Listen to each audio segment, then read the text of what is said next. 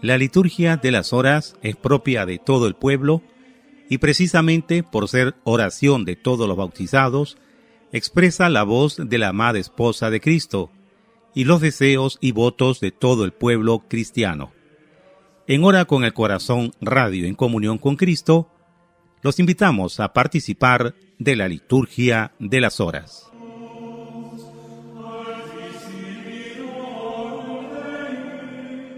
24 de mayo del 2019, viernes de la quinta semana del tiempo de Pascua, Salterio primero, hora nona. Dios mío, ven en mi auxilio. Señor, date prisa en socorrerme. Gloria al Padre y al Hijo y al Espíritu Santo. Como era en el principio, ahora y siempre, por los siglos de los siglos. Amén. Aleluya. Himno.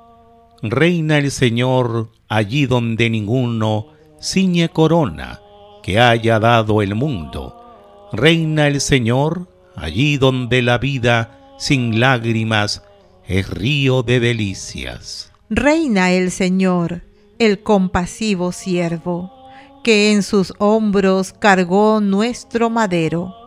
Vive el muerto en la cruz, el sepultado, y con hierro sellado y custodiado. Cruzó el oscuro valle de la muerte hasta bajar a tumba de rebeldes.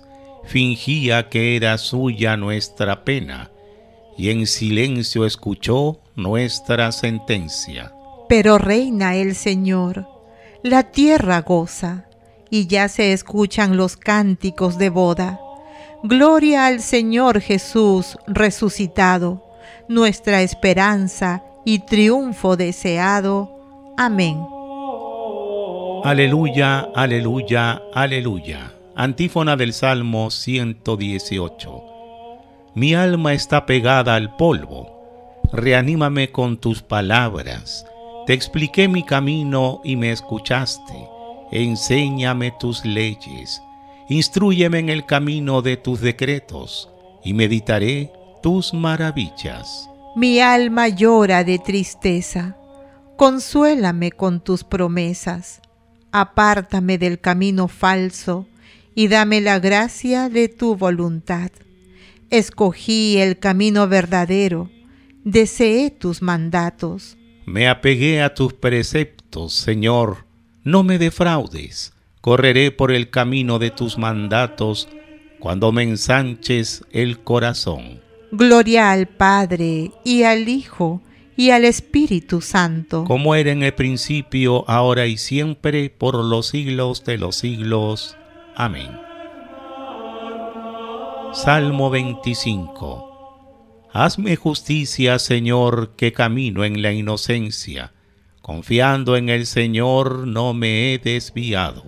Examíname, Señor, ponme a prueba sondea mis entrañas y mi corazón, porque tengo ante los ojos tu bondad y camino en tu verdad. No me siento con gente falsa, no me junto con mentirosos, detesto las bandas de malhechores, no tomo asiento con los impíos. Lavo en la inocencia mis manos y rodeo tu altar, Señor, proclamando tu alabanza, enumerando tus maravillas. Señor, yo amo la belleza de tu casa, el lugar de donde reside tu gloria.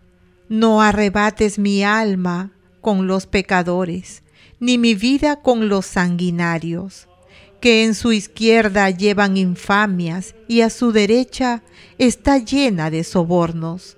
Yo en cambio camino en la integridad, sálvame ten misericordia de mí. Mi pie se mantiene en el camino llano, en la asamblea bendeciré al Señor. Gloria al Padre, y al Hijo, y al Espíritu Santo. Como era en el principio, ahora y siempre, por los siglos de los siglos. Amén. Salmo 27. A ti, Señor, te invoco, roca mía no seas sordo a mi voz, que si no me escuchas seré igual que los que bajan a la fosa.